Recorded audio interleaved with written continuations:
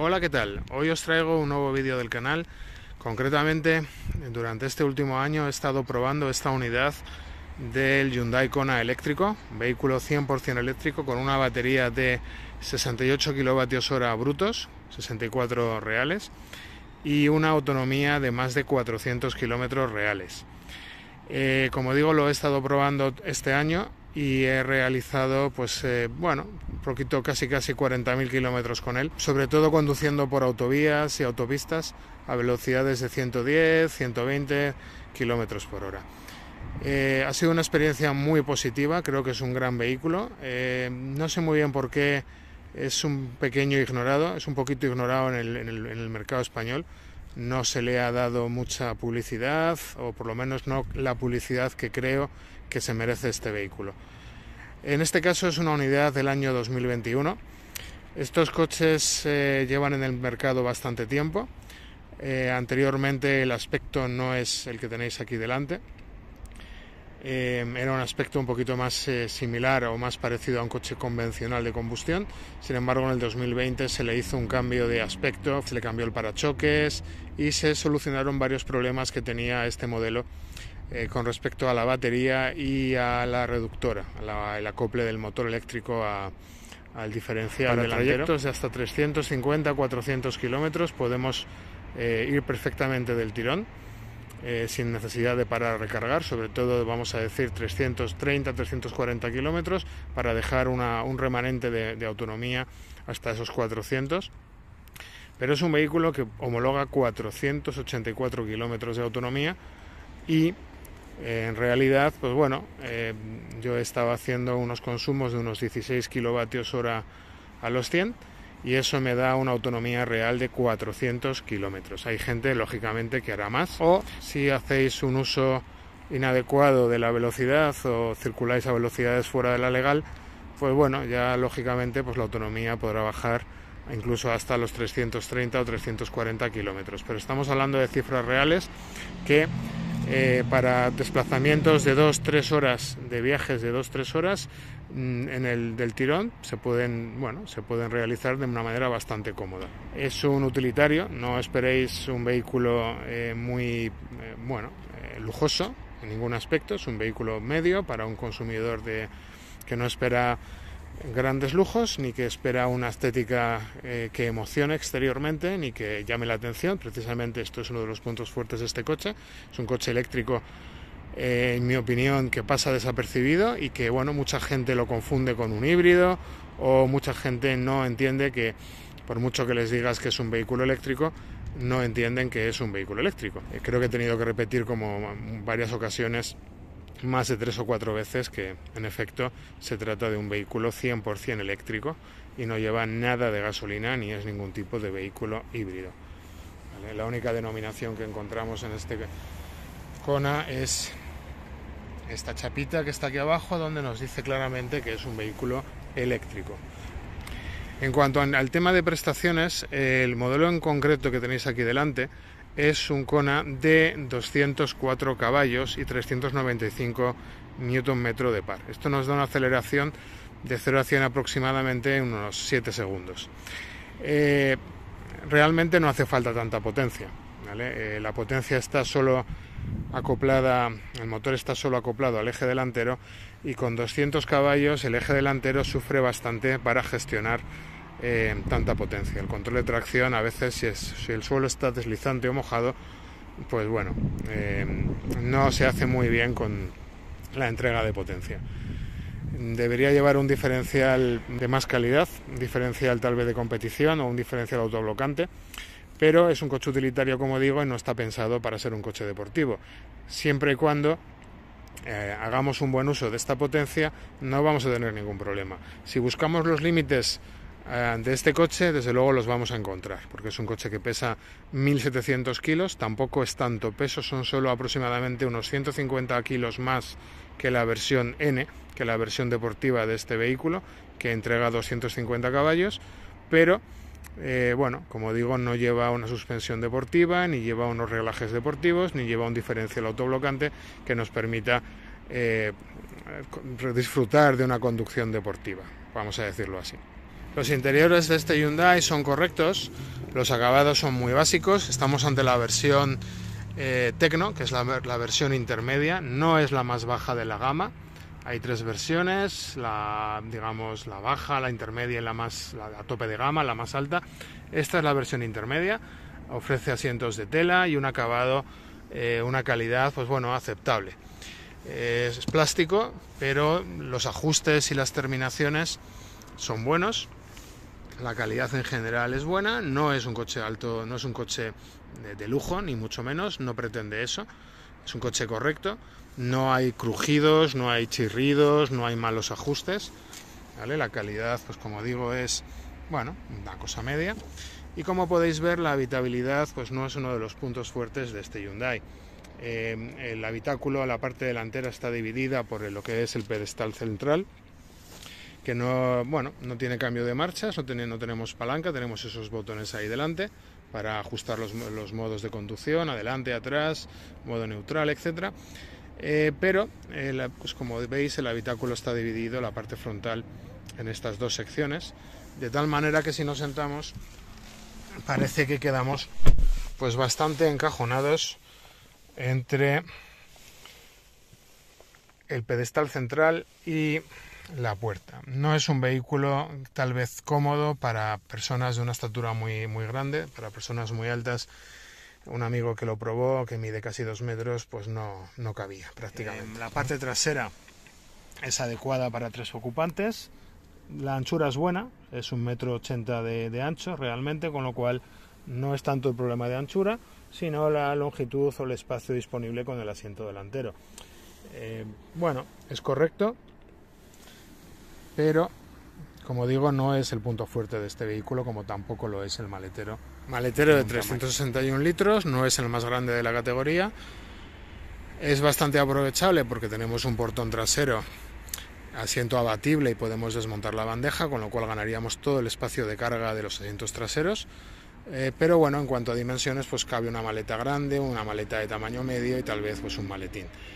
Mm, no mucho más. Si levantamos bueno, esto es una pequeña alfombra de goma que le he puesto yo, no, es, no, venga, no viene con el coche. Esto lo, os lo dejaré en la descripción del vídeo por si a alguien le interesa. La red de carga sí que viene. Y debajo encontramos otro hueco donde poder pues, eh, transportar objetos pequeños. O si levantamos esta tapa, justo debajo tenemos el kit de reparación de pinchazos y un hueco bastante adecuado para guardar conectores eléctricos o cualquier otra cosa que queramos llevar. Compartimento delantero del Hyundai Kona eléctrico.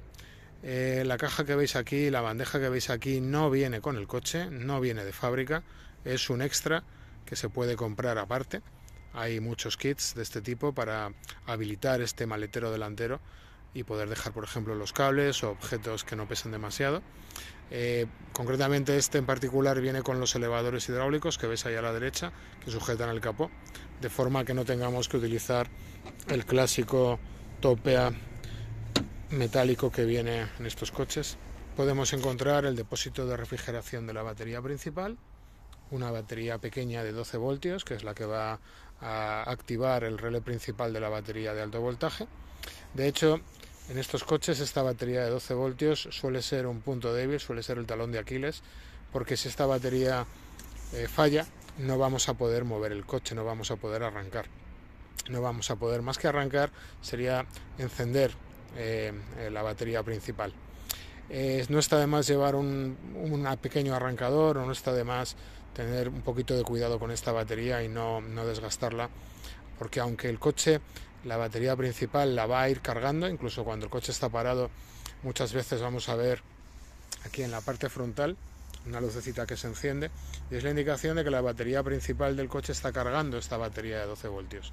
Bueno, aún así, a veces esta batería puede darnos algún susto y que nos quedemos tirados por culpa solo de esa pequeña batería de 12 voltios.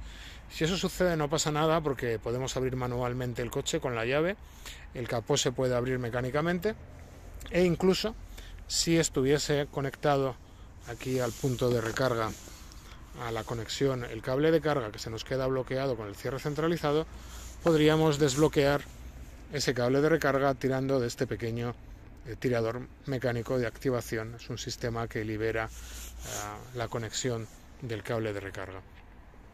Me ha pasado una vez, eh, desde entonces lo que tengo es un arrancador y lo que he hecho ha sido en los ajustes del vehículo mmm, no utilizar prácticamente para nada la batería de 12 voltios en cuanto a eh, desactivar las luces de bienvenida y ese tipo de consumos que hacen que esta batería de 12 voltios sufra un desgaste mayor que el habitual.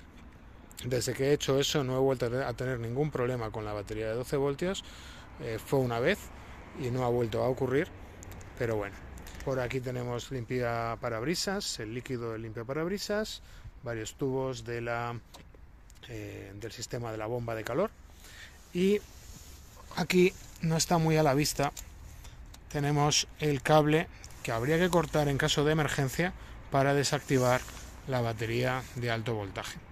Este sería el cable que los equipos de emergencia, en caso de un accidente o en caso de un problema, tendrían que cortar en caso de, eh, pues eso, tener que eh, asegurar el coche para evitar descargas eléctricas o evitar problemas. El equipamiento del coche es muy completo. En esta versión Tecno eh, el vehículo viene equipado con un montón de asistencias a la conducción, por supuesto control de velocidad, tiene también un piloto automático bastante básico, eh, igual que el Ioniq 5, que nos mantiene el carril, nos mantiene el coche dentro del carril y bueno, es capaz de girar el volante y seguir las líneas de la carretera, sobre todo funciona muy bien en autovía y autopista. Pero en cuanto a asistencias de seguridad, por supuesto tenemos frenada de emergencia, tenemos el aviso de eh, ángulo muerto, de tanto luminoso como acústico, que funciona si encendemos, por supuesto, si usamos el intermitente. Eh, tenemos el aparcamiento de seguridad, que se activa automáticamente el freno de aparcamiento en caso de eh, que se nos olvide. Seguridad de ángulo muerto cuando vamos marcha atrás. ¿Vale? Si vamos marcha atrás circulando despacito, detecta peatones y otros vehículos aproximarse y en caso de una colisión, el mismo podemos ajustar que frene, que sea reactivo. Eh, bueno, hay muchísimos ajustes, cada elemento de seguridad se puede ajustar, se puede personalizar pues para que avise, para que no avise, para que haga eh, tome acción correctiva en caso de necesidad. Por supuesto también tenemos la asistencia de luces largas para eh, automáticamente desconectar las luces de las largas en caso de que venga algún coche de frente y no deslumbrar. Hay muchísimas opciones y se puede ajustar prácticamente todo. ¿no? Alguien va por ahí diciendo que los coches eléctricos no pueden tener AM en la radio porque interfiere el motor y no sé qué tonterías con la frecuencia de AM. Pues no. Eh, los coches eléctricos pueden tener perfectamente radio AM si las cosas se hacen bien, si los cables están bien apantallados, apantallados, perdón, y si las cosas se hacen pues como tiene que tenemos 1080 Radio Huesca en nuestra radio AM de nuestro vehículo eléctrico Hyundai Kona eléctrico. Si BMW no quiere poner radio AM en sus coches y se inventa que hay interferencias, pues será su problema. Los eléctricos pueden llevar perfectamente radio AM y ahí lo dejo. Por supuesto, además de radio AM, el Hyundai tiene digital, radio digital y por supuesto radio FM. Una de las cosas que más me gusta de este Hyundai y que no me gustó si veis el vídeo del, del Mocha, por ejemplo, el Opel Mocha, es la gestión de carga. La gestión de carga de Hyundai es la gestión de carga adecuada que tiene que tener cualquier coche eléctrico.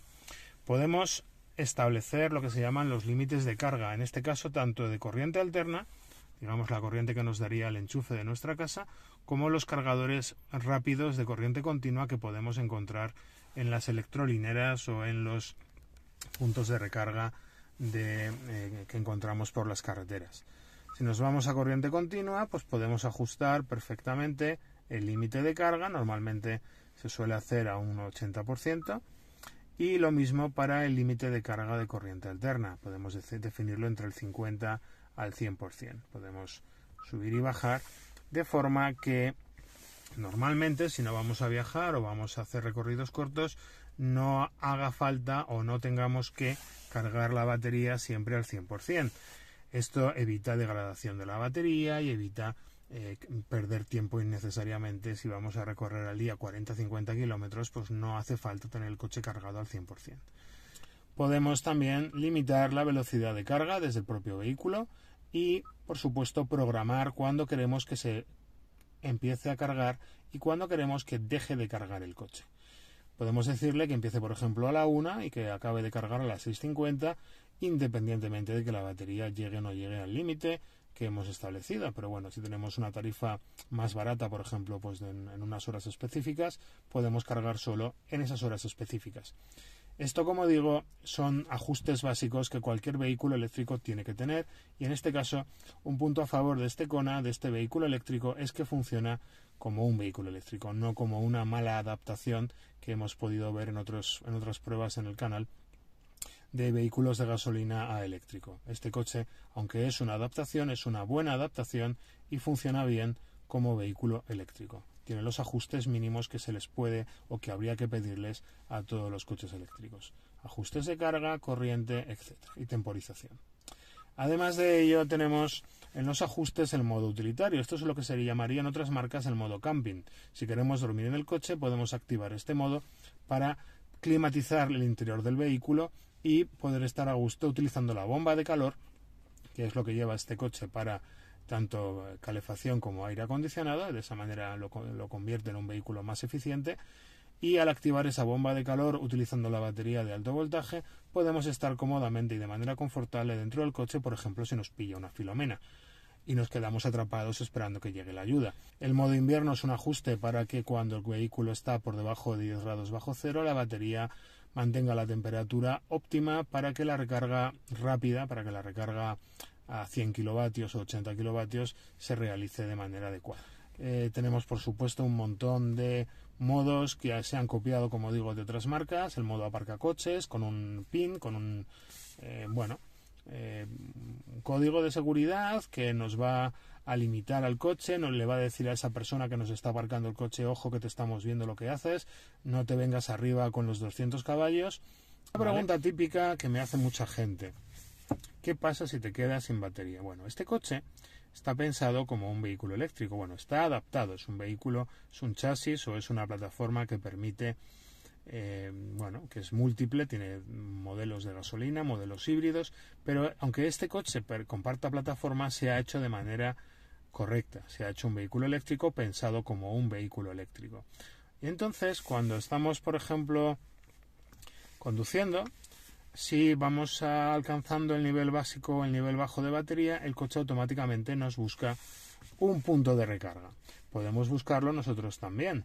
Podemos ir aquí y seleccionar las estaciones de recarga de vehículo eléctrico. Entonces automáticamente el coche nos va a decir dónde cargar.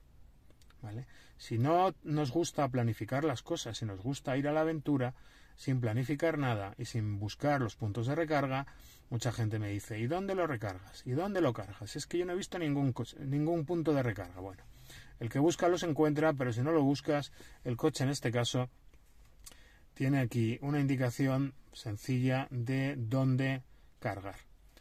Eh, por ejemplo, queremos ir a... Estos son los cargadores más cercanos. Podemos, podemos ir aquí a Endesa X Torrejón le damos, nos aparece ahí y le damos a definir como destino, con lo cual el coche nos marca la ruta, nos indica cómo llegar hasta allá. Por supuesto, podemos establecer cargadores como favoritos que nos van a aparecer en nuestro sistema de navegación del coche. El software del coche va mejorando, se van añadiendo mejoras, por ejemplo, esta no es la versión original que me dieron. Al principio los iconos tenían otro, otro aspecto y había faltaban opciones sin embargo, Hyundai va mejorando el software del vehículo y va lanzando actualizaciones que se activan o que se incluyen mediante la toma USB. Se bajan a, a una memoria USB, se conectan ahí al puerto de carga del teléfono móvil y eh, bueno, se activa la mejora de la actualización del software.